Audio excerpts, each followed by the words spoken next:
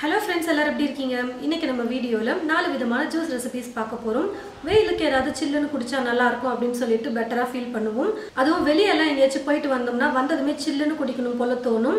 இப்போ ஜூஸ் வந்து பார்த்தீங்கன்னா நம்ம சம்மரில் ரொம்ப ஈஸியாக நமக்கு அதிகமாக கிடைக்கக்கூடிய பொருட்களை வச்சு தான் நம்ம பார்க்க போகிறோம் மாங்காய் முலாம்பழம் தர்பூசணி பழம் இதெல்லாமே வந்து பார்த்தீங்கன்னா இப்போ தான் சீசன் வந்து பார்த்தீங்கன்னா சம்மரில் தான் அதிகமாக கிடைக்கும். ரேட்டும் பார்த்தீங்கன்னா நம்ம எல்லோரும் வாங்கி ஜூஸ் போடக்கூடிய அளவுக்கு ரேட்டு கம்மியாக நமக்கு கிடைக்கும். அதனால் இன்றைக்கி நம்ம வீடியோவில் சம்மரில் என்னென்ன பழம்லாம் கிடைக்குதோ அதை வச்சு நம்ம வந்து ஜூஸ் போட போகிறோம் இந்த வீடியோ ஃபுல்லாக பாருங்கள் கண்டிப்பாக உங்களுக்கு ரொம்பவே யூஸ்ஃபுல்லாக இருக்கும். வெள்ளரிக்காய் வந்து பார்த்தீங்கன்னா எப்போவுமே நமக்கு கிடைக்கும். கடையிலலாம் அதிகமாக விற்கிறாங்க நம்ம வாங்கி ஜூஸ் போட்டுக்கலாம். முக்கியமாக சம்மர் டைமில் வந்து நம்ம வெள்ளரிக்காய் யூஸ் பண்ணுறது ரொம்ப நல்லது. அதிக நீர் சத்து இருக்கிறதுனால வெள்ளரிக்காயாக சாப்பிட பிடிக்காதவங்களுக்கு அதை ஜூஸ் போட்டு கொடுக்கறது ரொம்ப நல்லது. இப்- இப்போ சம்மரில் நமக்கு ஈஸியாக கிடைக்கக்கூடிய இந்த நாலு பொருட்களை வச்சு ஜூஸ் எப்படி செய்யறதுன்னு பார்க்கலாம் வாங்க.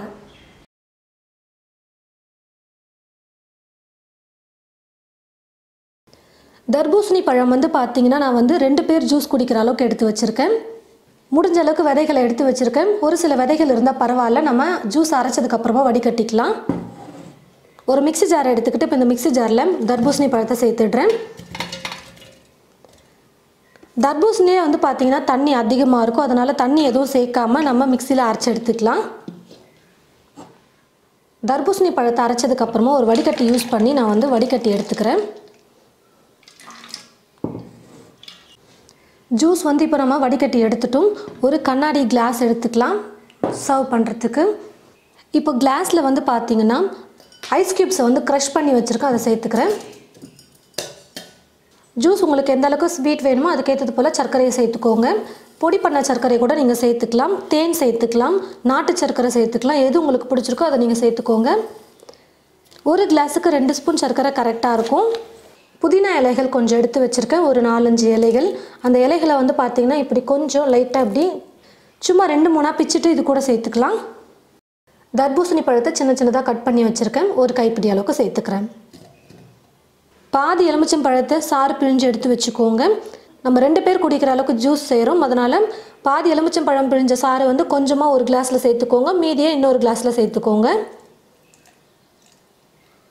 இப்போ இது எல்லாத்தையும் ஒரு கட்டை இல்லைன்னா ஒரு ஸ்பூன் மாதிரி ஏதாவது ஒன்று வச்சுக்கிட்டு இந்த மாதிரி லைட்டாக மசிச்சுக்கோங்க.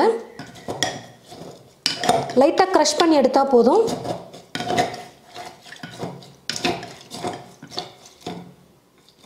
எலுமிச்சம் பழம் அப்படி இல்லைன்னா க்ரீன் கலரில் காய் இருந்ததுன்னா அதை வந்து இந்த மாதிரி நீங்கள் கட் பண்ணிக்கோங்க. நல்லா மெல்லிஸாக ரெண்டு ஸ்லைஸ் வந்து கட் பண்ணி எடுத்துக்கோங்க.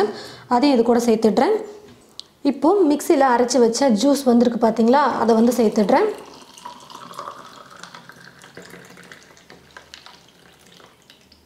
மேலே லைட்டாக அழகுக்காக கொஞ்சம் புதினா இலைகளை வச்சுக்கிறேன். பார்க்கவே ரொம்ப சூப்பராக இருக்குது பாருங்கள் ஜூஸ் வந்து. வெயிலுக்கு அப்பப்போ இந்த மாதிரி சில்லுன்னு சூப்பராக நம்ம ஜூஸ் வந்து ரெடி பண்ணி குடிச்சிக்கலாம்.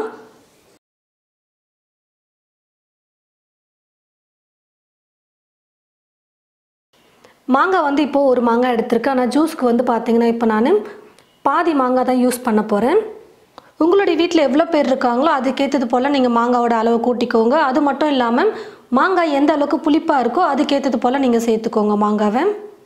மாங்காவை வந்து நீங்கள் கொஞ்சமாக கட் பண்ணி சாப்பிட்டு பாருங்கள் மேலே இருக்கிற தோல் நல்லா இருந்ததுன்னா தோலோட நீங்கள் ஜூஸ் போட்டுக்கலாம். ஒரு வேளை மேலே இருக்கிற தோல் வந்து கசப்பாக இருக்கிற மாதிரியோ டேஸ்ட் ஒரு மாதிரி இருக்கிற மாதிரி இருந்ததுன்னா வெறும் நீங்கள் மேலே தோலை சீவிட்டு உள்பகுதியில் இருக்கிற சதையை மட்டும் நீங்கள் எடுத்துக்கோங்க.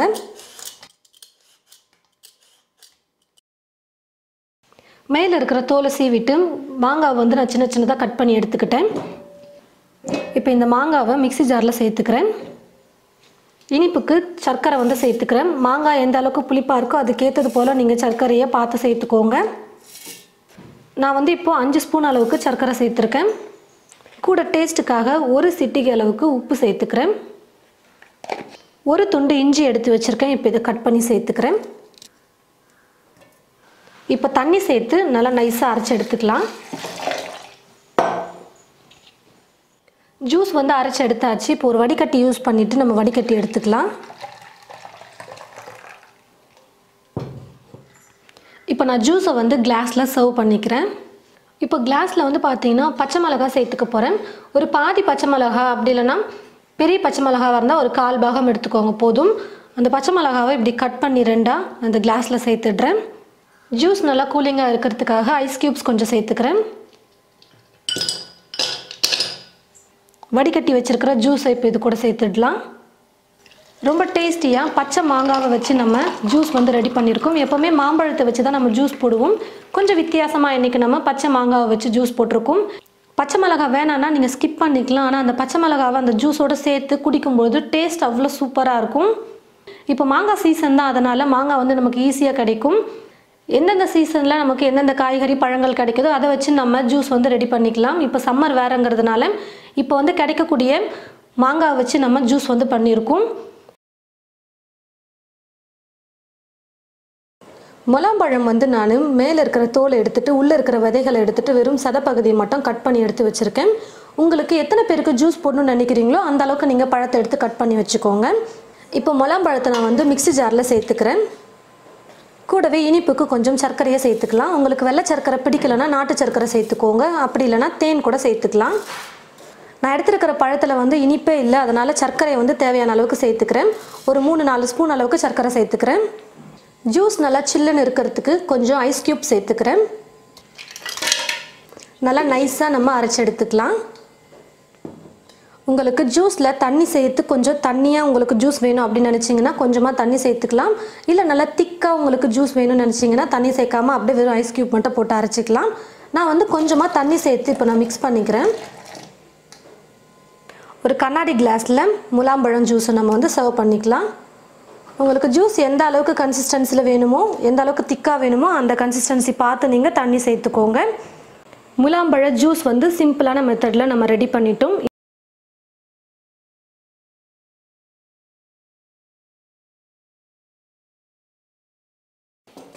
வெள்ளரிக்காய் வந்து ஒரு வெள்ளரிக்காய் நான் எடுத்து வச்சுருக்கேன்.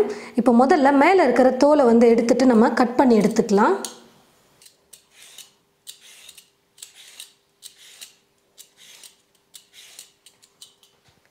மேலே இருக்கிற தோலை சீவிட்டு அப்படியே நான் வந்து கட் பண்ணி மிக்சி ஜாரில் சேர்த்துக்கிறேன்.